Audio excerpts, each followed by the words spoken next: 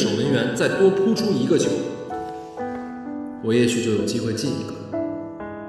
就算中场哨响时，我依然失败，但我已经为我喜欢的事业付出了一切，所以这都是值得的。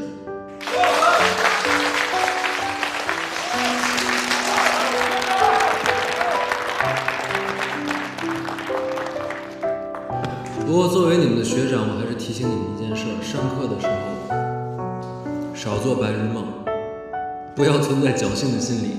当你们做小动作的时候，你们的班主任就在你们的后门。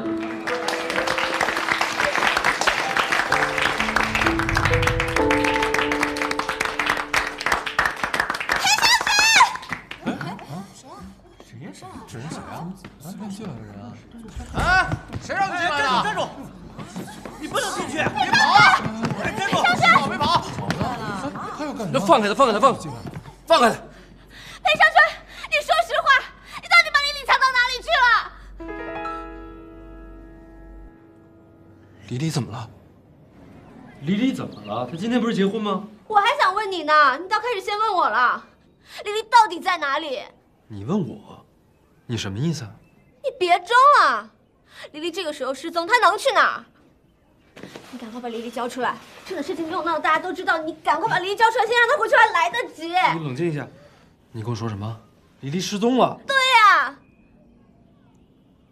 你真的不知道？我怎么可能会知道？完了完了完了，那那这这真的你先冷静一下，你告诉我为什么黎璃失踪了。你们回来问我，我们都已经几个月没有联系了，我不知道你找谁。